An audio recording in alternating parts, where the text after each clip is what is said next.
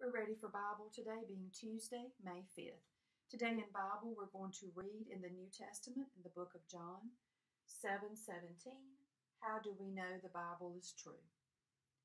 We're also going to move on to Esther petitions the king today. So we're going to find out what happens when she goes before the king.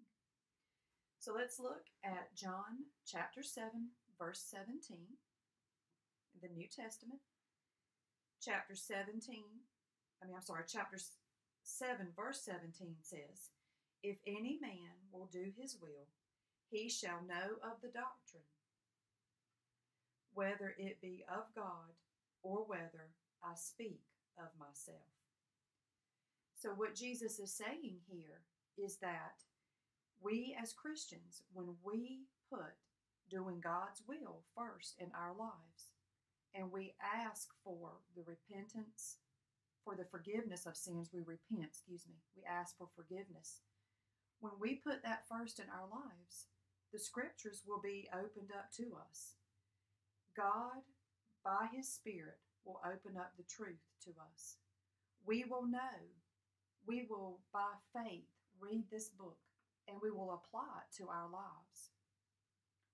We should desire each day to open up this book and to read to find out what God says about our lives and how we should handle, you know, events that come along when we have things that are, you know, happen that are sad or, um, you know, things when, you know, maybe someone hurts your feelings or you have hard feelings with someone. How do we, how do we forgive and how do we, you know, conduct ourselves so that we bring honor and glory to God?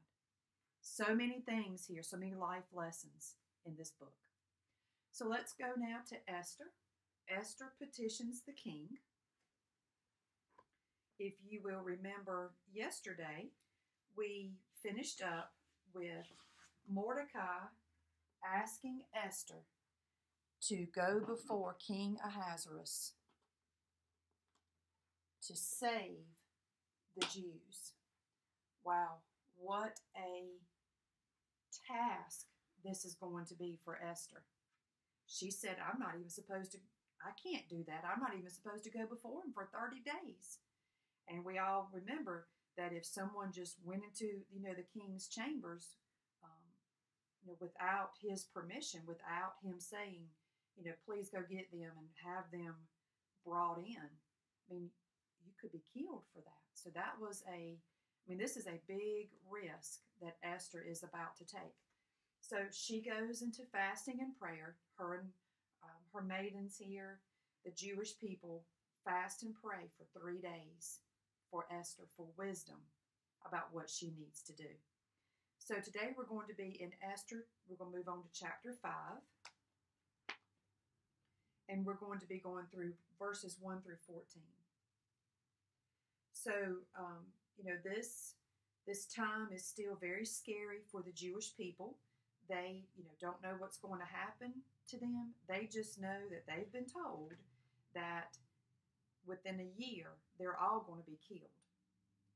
Haman has really orchestrated all of this, all because of Mordecai. His hatred and rage toward Mordecai has caused this, you know, this plot to come about. So Esther, after the three days, she you know begins to get ready. She starts you know putting on her crown and you know getting up the courage here. She's she's weak. She remember she hasn't eaten. She's only had water for three days in her fast, and she's ready to go to the king. She is um, she's scared because she knows that this could be her death. So I'm going to show you a picture of her there. She's walking in. Oh, he's pointing at her. Let's see what happens. So Esther opens the door and she walks into the king's chambers. He's sitting there. He looks up and he says, Esther. He is so stricken by her beauty. he, you know, remember, I mean, there's something special about Esther. She has such a sweet spirit about her, and she's very beautiful. So when he looks up and he sees her, he says, Come on in. He reaches out his scepter to her, saying, You're safe. I accept you. Come in. First hurdle she had to jump over, right? So she's into the, the king's chamber. She's there. She has his attention. What does she need? The king spoke. He said, What do you want, Queen Esther? What is your request? You shall have it even to the half of my kingdom. Esther held a very special place in his heart. Esther was not yet ready to ask him to spare the Jews. But she comes to him and she says, Well, what I would like for, to do is I would like to have a banquet. And I would like to have you to come. And I would also like to have Haman to come. King Ahasuerus said, Sure, I, I would be glad to do that. And I'll have uh, a message sent to Haman to come. Absolutely. We'll do that. So Esther, she leaves. She has a plan here. Remember, now she's been praying. She's been asking God what to do. So she asks him to the banquet. He accepts. Haman's going to come. And she leaves. Both the king and Haman arrive for the banquet. And here they are. King Ahasuerus and Haman, and there's Esther, and they're you know they're in the banquet, and, and this is great, and you know, this is a, a wonderful time. I mean, it was, I mean, it was not out of the ordinary to have, you know, this great feast and to be together. I mean, we, you know, we get together in our families and we eat and we talk, and it doesn't really have to be a reason, right? It could be someone's birthday or Christmas, but we just sometimes get together and eat and enjoy each other's company. No doubt it was difficult for Esther to be there with Haman knowing what his plan was. But Haman, he didn't suspect a thing. He was just so happy that he was there with the king and queen, he could have cared less about what else was going on. At the banquet, King Ahasuerus again, he said, Esther, he said, What was your request? Whatever it is, even if it's to the half of my kingdom, I'll grant it. Esther still is not ready to reveal her request. She wanted to wait one more day. She said, My request is that if it please the king, let the king and Haman come to me, come with me tomorrow to another banquet, and I'll give you my request then. I'll tell it to you then.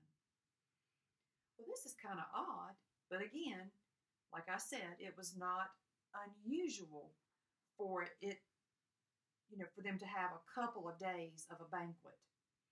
You know, you kind of wanted people to have a good full tummy and be happy and then ask the question, right? So she wanted to be sure that, you know, everyone was kind of in a good mood before she, you know, lets everyone know what's going on. So God gives Esther the wisdom and she arranges for another banquet. Well, Haman, he is so excited. He leaves this banquet and he goes home. And as he's going home, he walks by, oh, I don't have that one again, but he walks by the king's gate and there's Mordecai again. And as he walks by Mordecai, Mordecai doesn't bow to him. So, you know, he was in a really good mood when he left um, Esther and the king. He walks by Mordecai and he gets mad again. One person just ruins his day. Hmm. So, you know, Haman walks home, and as he's, I'll show you him here, he's, he thinks a lot of himself. Look at all of his gold rings and all of his gold here, gold. He's got, you know, these nice uh, green robe on. Remember, we talked about color, if, um, you know, being in clothing, you know, was a mark of being very wealthy the dyes that were put into the clothing was very special. I mean, you had to have money to buy green and purples, you know, in your in your clothing. So Haman he goes home and he's trying to, you know, be happy. And as he gets home, he starts talking to his family. And and they're like, "Well, did you have a good day?" And he said, "Oh, yes, I had a great day." Esther invited me to a banquet. Just, you know, her, just um, she was there. King Ahasuerus was there, and I was there. And not only that, she's invited me to come back tomorrow for another banquet. Just us three. He said something spectacular has got to be getting ready to happen. They've got some big plan in there, including me. He said it was wonderful. And tomorrow I'm going to. Then he got mad. And he said, You know what? He said, I was walking home and I walked by the king's gate when I left, and that Mordecai wouldn't bow to me. And it infuriates me that he will not bow to me like I said. So he went from being super happy to angry. He is just consumed with with Mordecai. But you know, this is sin and, and that's what happens. You know, the devil he can get that thought in your mind and he can just bring it over and over. Well, one of Haman's um, guests said, "Hmm, don't worry about it. You know that in within a year's time that you know they'll all be dead." And um, he said, "I've got an idea." He told Haman, he said, "Why don't you have a gallows made 50 cubits high?"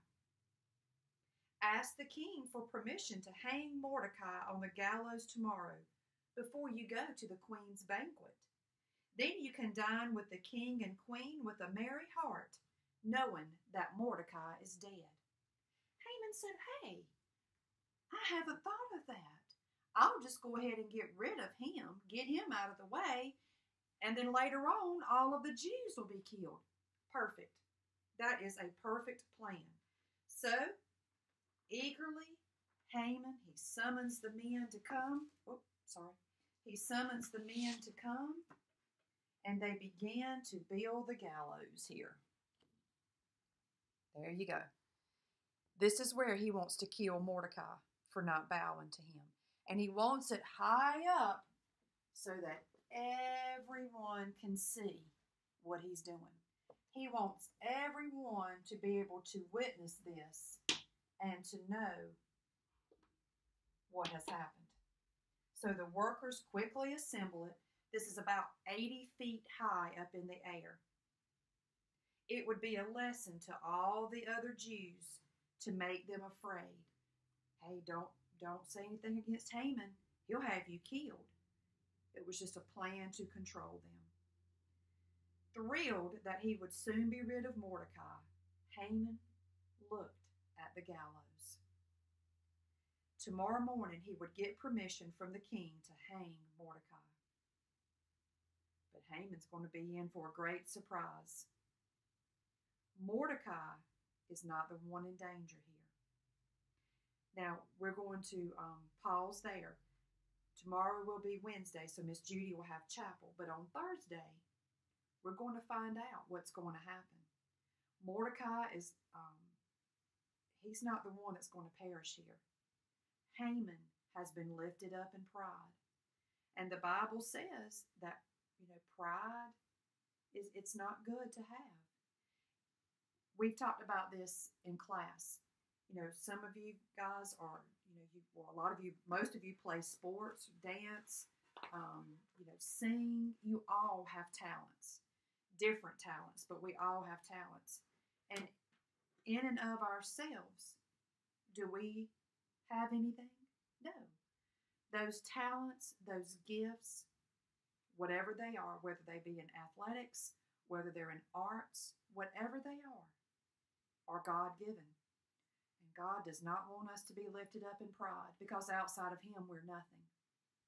And Haman is lifted up in pride. So God's going to have judgment waiting for him, and we'll find out Thursday what happens. So let's pray and let's ask God to bless us this day. Dear Heavenly Father, thank you for this day. God, we thank you for, Lord, another day of life. God, thank you for health. Lord, thank you for the school year that we've had. Dear Lord, thank you that we could come together this morning, Lord, and study the scripture. Lord, look at these lessons, Lord, and just see how those before us, Lord, what they've when they've done things, Lord, that are displeasing to you, God, what what their consequences were. And God, just help us to be mindful, Lord, when we're making our choices, to look to the Bible and say, if this person did it this way, what happened? If that person did it that way, what happened? Just, Lord, keep those truths close to our heart. Lord, I just ask that you bless each one today. God, help our subjects to come easily to us today.